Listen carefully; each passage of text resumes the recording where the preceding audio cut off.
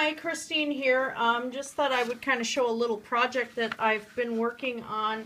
Um, very simple and easy. I'll put links below to this particular graphic that I used. It's exact size, how it printed out. Um, I know some of us witchy folk that like to use our tarot uh, cards and stuff, you know, um, some of us also have dolls and we'd like to be able to have miniatures for the dolls. I'm later going to be doing a Ouija board right now. My printer is out of ink. Um, I'm also going to be making some traveling altar boxes and stuff like that to put up on uh, Etsy for different size dolls. But um, this is a set of tarot cards, nice and easy. I already got preliminary steps done. Now you can see how big each one is. I thought I would just give you some dolls for comparison. My Monster High ones are packed away, of course. But here's an older Barbie. So these doll, uh, the cards would be kind of large for her, but not overly so. I've seen decks about that size and proportion, and this is an older style Barbie. Um, the uh, newer style Barbie, this one isn't as new, but you can see the size is about the same. And um, so Monster High, it's going to be a little bit bigger yet. This is an old witch Barbie, by the way, and that is the original one.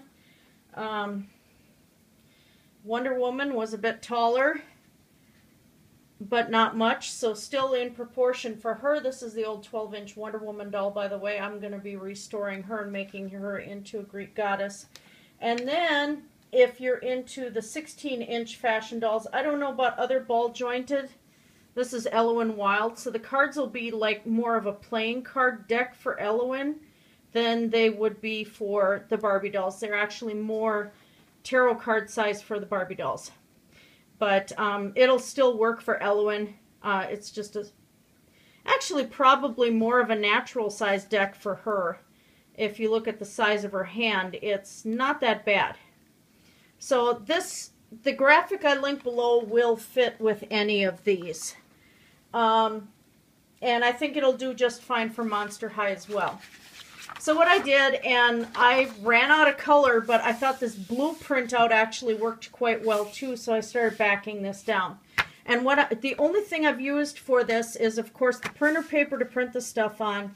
Um, cardstock, this is a thinner cardstock. You can use thicker, but as you can see with just a few layers, this is pretty sturdy.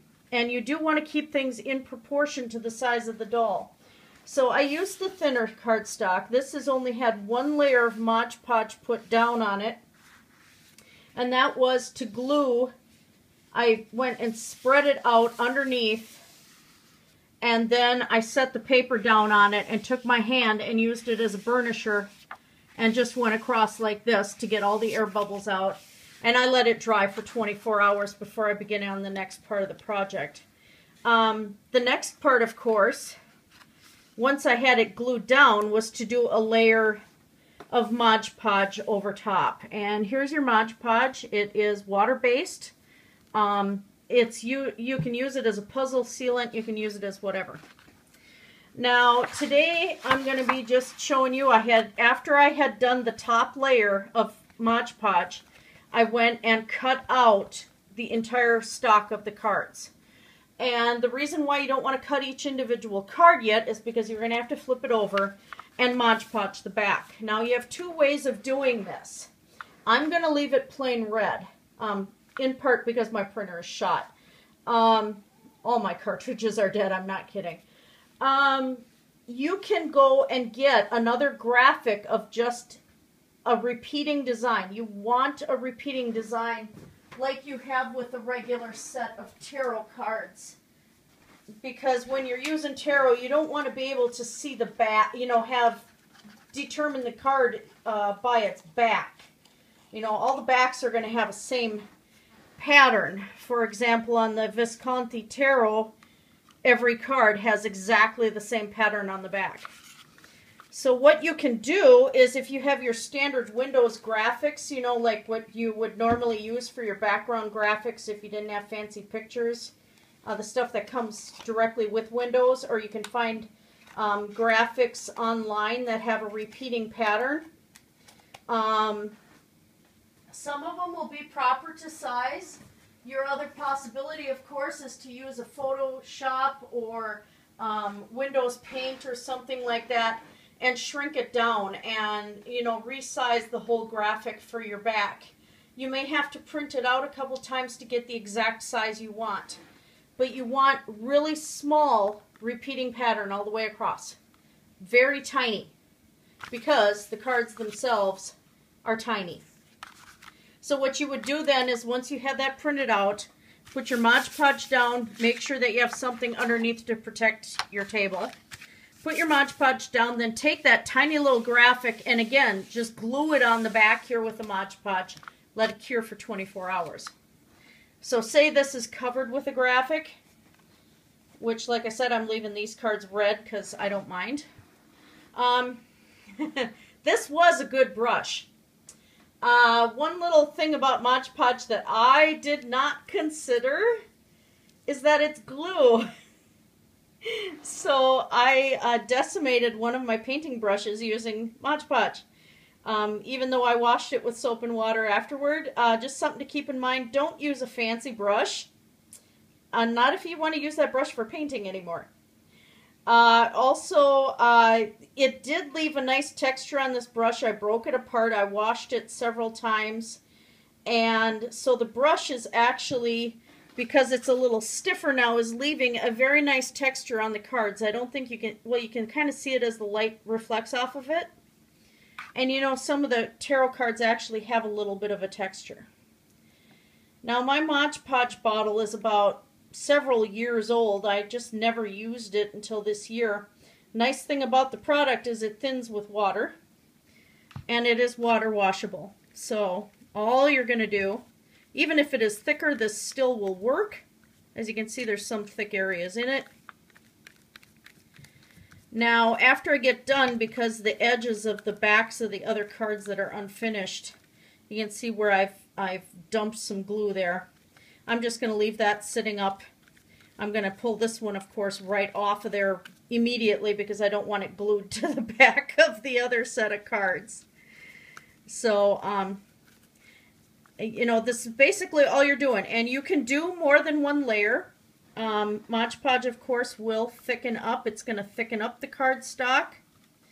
There will be a little bit of a curl, but that's okay because afterward, you're going to go along the lines and just cut all the cards out and um, you know you can kind of make a little uh, uh, paper envelope out of origami paper something like that or work on making little miniature bags or you know buy a little coin purse or something for Barbie and keep the tarots in there. But um, I'm probably going to make a box. Not sure. The other thing I'm going to do with this after this layer dries, I'm going to mix some Mod Podge with some extremely fine glitter.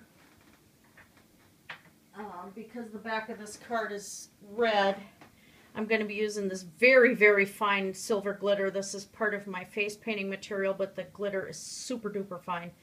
Um, they have a red one too, so I might use that instead.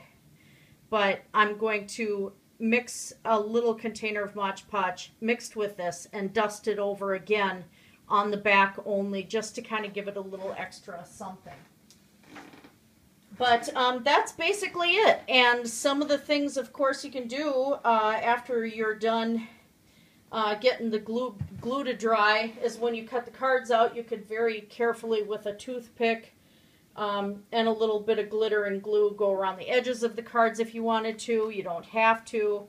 Um, but you see, it looks white right now. This is all going to dry clear. It's going to be a really nice shellac when it's done. And as you can see, I removed it from the back of that. I'm just going to flip this upside down to let it dry because this doesn't matter anyway. This is all going to be cut off and nobody's going to notice or care, especially when you cut the cards out. So that's about it. And you, of course, you got to see some more of my doll collection that I have. And, um, well, I had to show you. I went and got the little blind bags of the My Little Pony, and I got Twilight, and I got this, I can't remember his name now, but he's just really super bright and cute. And I want to make a bracelet or something out of him, because he's just cool. I don't know. but yeah, so that's it for tonight. Um, well, actually, I got a couple more things to show you. We got some new stuff we're going to be working with with our chainmail. And uh, we got some gorgeous, gorgeous pieces that Troy's flipping out over. We have got glow-in-the-dark plastic scales, aluminum scales. We have got um, wood-etched skulls. Um, well, let me set this down here because I want to show you crap. Yeah, I'll have to redo that anyway.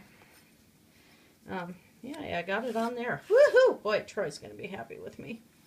Well, that'll just peel right off, fortunately. But I wanted to show you guys this awesome pentacle design that we just got. It is super cool, and he can't wait to mess around with the chainmail on this. It's just, it's faceted, it's gorgeous. I might confiscate one, I don't know yet. it helps that it's under my business until we get married and then we get to move everything together, but yeah. And there's the Phoenix design. So yeah, we got all sorts of new stuff to play with. So anyway, that's it. Um, bright blessings. I hope everybody has a great night. Blessed be.